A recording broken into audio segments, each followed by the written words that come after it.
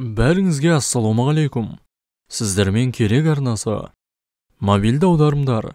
2023 жылдан бастап тек шенеуніктер туралы ақпарат беріле бастайды.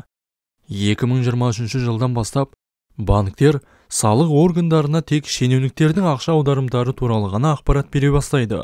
Сонымен қатар мемлекеттік қызметшілер салық декларациясын тапсыруға міндетті.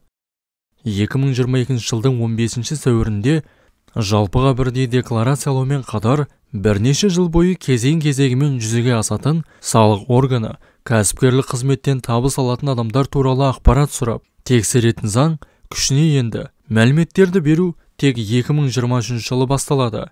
Және тек қана мемлекеттік қызметшілер мен олардың жұбайлары сондай-ақ квазимемлекеттік сектор қызметкерлеріне қатысты мәліметтер үш ай қатарынан әртүрлі адамдардан жүзден астам аударым алса ғана беріледі 2024 жылдан бастап жеке кәсіпкерлер мен компания басшылары 2023 жылға дейін Қазақстанда жеке кәсіпкерлер салықтан босатылған. 2025 жылдан бастап тұтынушылардың басқа санаттары.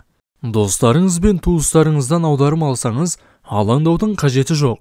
Банк құпиясының талаптарына сәйкес мұндай аударымдар туралы деректер салық органдарына қазір де кейін де берілмейді. Дәл қазіргідей жеке мақсатта аударым қабылдап жібере аласыз. Салық туралы қосымша ақпаратты 1414 бірыңғай байланыс орталығын анықтауға болады.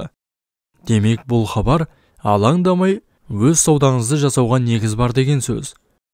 Осы жаңалық туралы өз пікіріңізді қалдыра кетіңіздер.